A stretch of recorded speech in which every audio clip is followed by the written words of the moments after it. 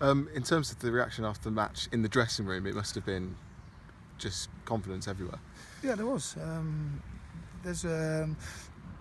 there's, there's there's good players in that changing room, good characters in that changing room. Uh, again, everybody acts, reacts differently with with a win. Again, the, the important thing is to build on it, uh, understand what players have been doing well, where they've been getting success, uh, and maintaining what they've been doing uh, and the information that's being given to them. Uh, we're very respectful of every opposition that we play against and we've played against some good teams now and we've caused them problems uh, and there's more to come from this change room at the minute we've still been working on the fundamentals of being out of possession uh, with the ball roles and responsibilities within the team framework of where we need people to be uh, and again uh, when we start when that becomes more natural to the players then we can start working on uh, other fundamentals of the game that will that will see us be even more of a threat to the opposition